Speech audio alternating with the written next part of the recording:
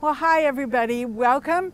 Um, I'm Joan and, and this is Rachel Peregrine and we're both uh, partners in Raptology and we've been fortunate to do programs for you at the library but now with COVID that isn't happening anymore and so actually we're going to kind of take advantage of that to give you a vaccine tour of, of Raptology.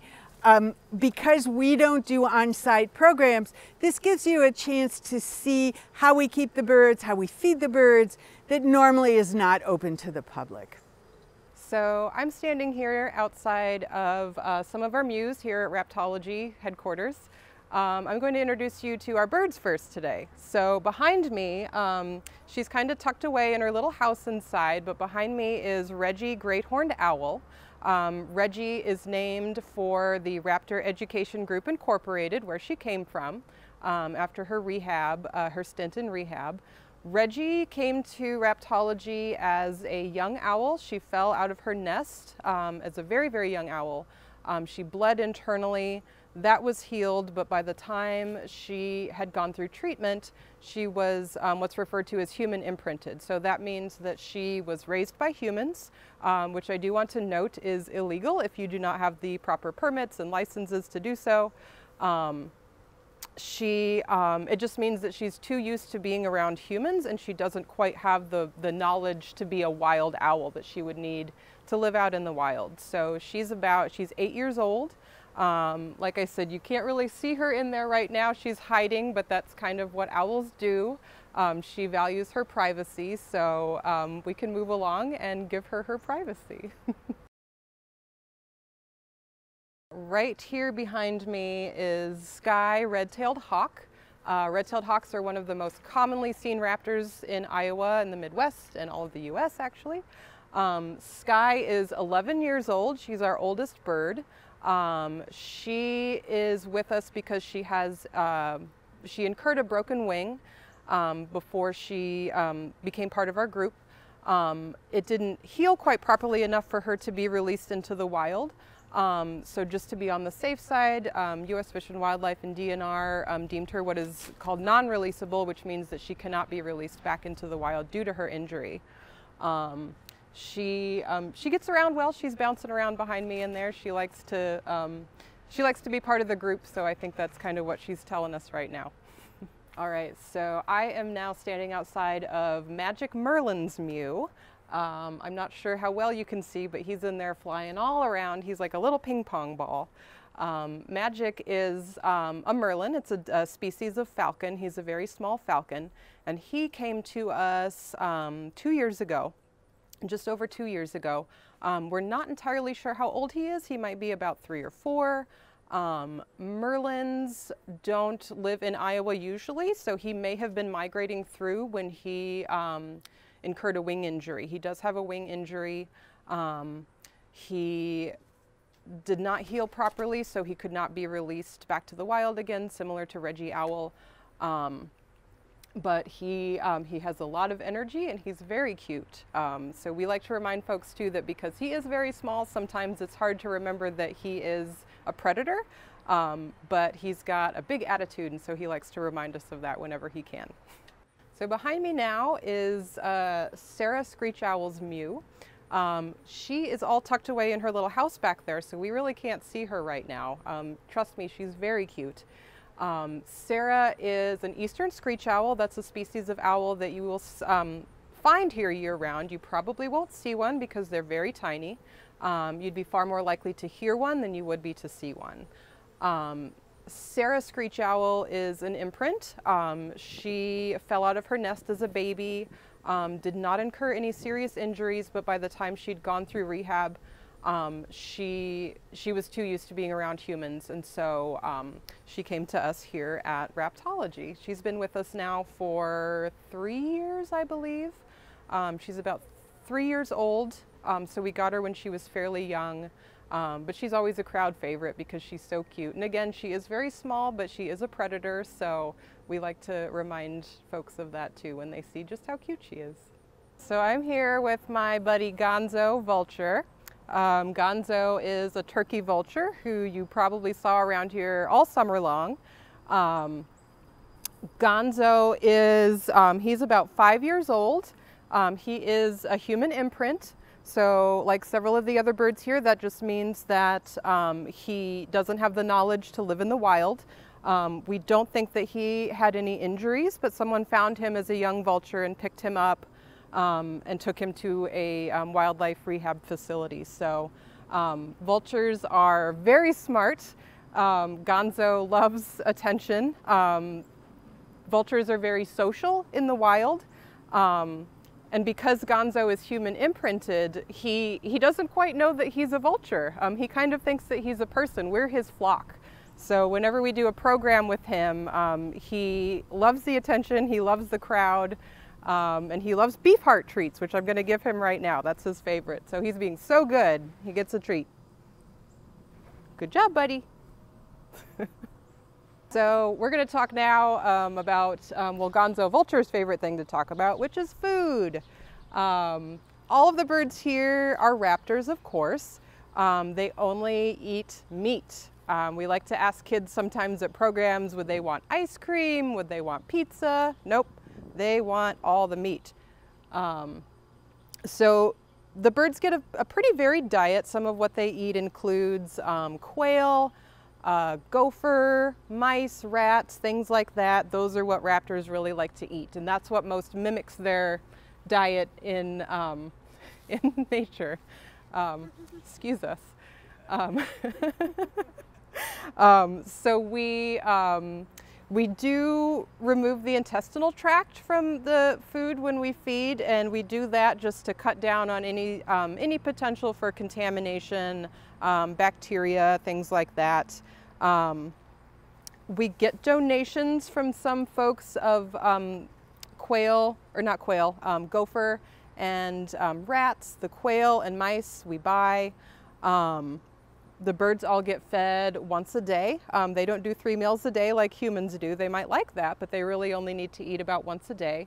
Um, in nature, that's would most mimic their, um, their natural diet. Um, when it gets really cold in the wintertime, sometimes we um, increase the amount of food they get so they can get more calories and more energy. Um, in nature, a lot of times when it gets really cold, raptors will choose to not eat simply because going out and hunting for their food um, costs more energy than it does for them to just kind of sit and maybe digest what they had yesterday. Um, we keep all of our food here in a freezer downstairs. Um, there's a designated human food freezer and there's a designated bird food freezer, so um, they don't get mixed up. I don't think you probably would mix that up, but just in case. Um, we do provide water for them. Um, they get water um, all the time except for winter. We pull their water bowls in the winter time just simply because it would freeze and not really be worth um, having around.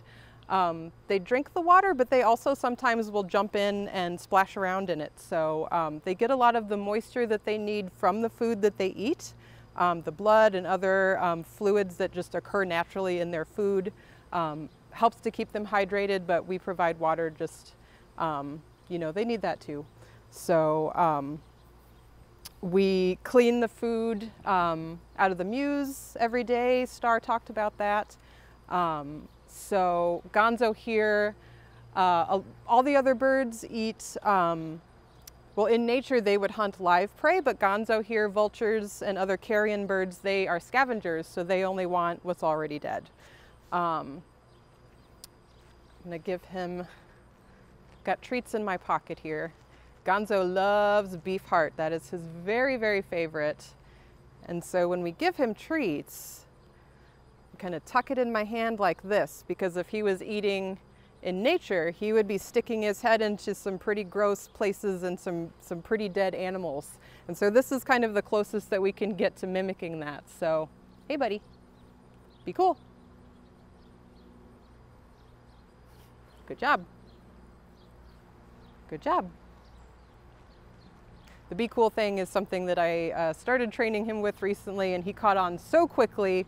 Um, I have him tuck his wings and hold still, so, um, but he gets a treat now anyway just because he's being good. This is everybody's dinner tonight. So this is Gonzo Vulture's dinner. He's getting a nice rat. Uh, we are getting Sarah Owl is going to get some quail. That's what's here. The powder on top is just some um, vitamins and supplements for them. And then this is Rachel Peregrine Falcon's meal. She's also getting quail. And then you can see Sky is getting mice and a little bit of quail too all mixed in. And quail for Magic and mice for Reggie. All to mimic their natural diet. You know, they would generally be getting rodents and different small birds to eat in their diets. And that's really all there is to it.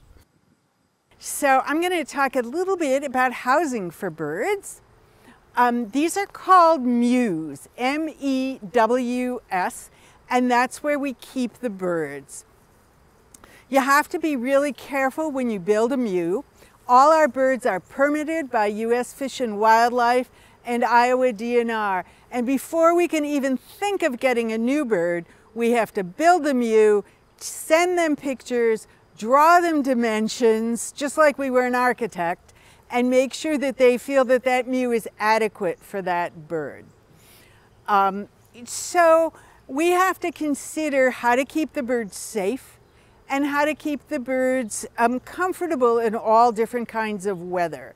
We don't have any electricity in this part of the yard, and so we can't provide heaters for these birds. So when we build the mew, we have to consider both summer temperatures and winter temperatures and safety. So all of these mews are built partly with slats to get air in and partly with surfaces that are solid because we always want the birds to be able to get out of the bad weather if they need to. Um, the owls both have little shelter boxes that they can hide in. Um, and the birds will mostly stay out of the weather, um, but sometimes I come out and it's raining and the birds are sitting out where they're getting wet because they like it. All of these mews are screened and the screening is because in the summer we can have mosquitoes. Mosquitoes transmit West Nile virus and that is uh, sometimes fatal to birds. And also, as you probably remember, the lovely gnats or black flies that we get in the spring. They make life very uncomfortable for us and they make life horrible for the birds. In the wild, sometimes the young birds die because the gnats bite them so much that the birds lose so much blood that they become anemic. The adult birds can just pick up and fly off, but the young birds have to be in the nest. And another thing that happens sometimes, and I know has happened with the Decorah eagles, is that the birds are so bothered by the gnats that they jump out of the nest prematurely before they're fledged. And then either somebody has to find them and care for them, or sometimes the parents will actually feed them on the ground. So everything has slats and screen on it. And because you don't want anything to tunnel under, all of these before we build them, we put a trench around them and we put hardwire, hardware cloth down about 18 inches so nothing can come underneath. Um, all of the mews have a double entry, double door entry. Think of it like an airlock. So we go in, we close the door behind us before we open the next door, and we do the same coming out all of our birds are flighted. They are non-releasable, but they can fly, some more distant than others. So we're very, very careful with that. Um, we have three birds, including this one, a peregrine, a merlin, um, and the vulture, who are migratory birds. These birds normally in winter would not be hanging out in Iowa. Um, the red-tailed hawk, the great horned owl, and the little screech owl are native here. And so we don't worry about them very much in the winter because their cousins are all out and about here. But these birds, although they'd probably be okay, we're a little more careful. So we put a roof over we, um, on the three mews that they are in. That will have a roof that's already on for the winter. And then we will use some, like a corrugated hard plastic that we put up on the outside. It lets some air movement go in, but it breaks the, it breaks the wind. Um, and that's pretty much what we can do for them. Um, when we had that super cold spell a couple years ago and it was 50 degrees wind chill and I was in Chicago and scared to death. Dawn and some other wonderful volunteers came over, put the birds in their travel crates, and those three birds spent the next couple days in the basement in their travel crates because that was just too cold. Sometimes in the summer when we get those days that are over 100 degrees, we come out, we check on the birds a lot. They do have the water, but again, last year when it got really hot, birds moved into the basement and Gonzo moved into the laundry room on the first floor. He thought that was great. Um, so that's, that's the Mews. The bottom of the Mews has pea gravel. Underneath it is sand, so we get good drainage. Um, the Mews all have perches at different heights because we want the birds to be able to move around. They're not leashed once they're in the Mew. And we want different surfaces on the perches because we want to keep their feet healthy and um, having a different kind of substrate on that keeps them from rubbing those feet all in one place. So we use Cocomat, like on the welcome mat, we use artificial turf, we use regular wood, we use a variety of surfaces. Hi, I wanted to share with you about the cleanup that we do to behind the scenes with our raptors. We do twice a year, we go in and we do a major cleanup in each of the mews, which a mew is considered the house that each of the raptors live in. Uh, we go in twice a year and do a major clean, which might mean scrubbing the walls. Sometimes we paint. We might have to go in and put new perches up, which we just did a fall cleanup on that. And we will go in and put new roofs on and the siding for winter time. Uh, on a weekly basis, we have to go in and clean up a major cleanup, which would be the kids would laugh on this. Uh, we have to clean up the poop along the way and on a daily basis, we go in and we clean up any food that's left over because we can't leave that in there. They have to have fresh food every day. And we change their water, and the water is kept in their mews three times during three seasons. We pull the water out in the winter because we don't want them to have their feet wet during the winter time because they have leather jesses on, so we wouldn't want that to be wet during the winter. So we do that on a regular basis, and every day we go in and pull out any of the unused food portions. So that's pretty much what we do on a daily basis. What I'm going to do is kind of show you a little behind the scenes where I would go in on a daily basis and clean up what, what happens on a daily visit into the mew itself. This is a mew that we would come on into, and I usually kind of walk in and assess what cleanup needs to be done. First thing I do is kind of look to see if there's any leftover food that they might have left from the night before. That gets gathered up right away into a trash bag. Pull out any old feathers that might be in here and try and keep it as clean as possible. This would be a Thursday for us where we usually do a very heavy cleanup on a Thursday. So we would come in and if you want to come on in behind me, we would assess to see what Rachel, this is our peregrine falcon, what she has left behind for us. And we have our floor is all pea gravel, which makes it really easy for us to clean up. We come in where she has gone and she has dropped her poop down here and we do a lot of scooping. It works real easy on the pea gravel and we just scoop and clean like that. She will also drop a lot of little feathers along the way. Those get scooped up on a, a daily basis, but mostly on Thursday, and usually one other day during the week, we do a major cleanup like this. So, but by having the pea gravel here, it makes it really easy for the cleanup to happen. We will find that they will leave behind also from where they had their food.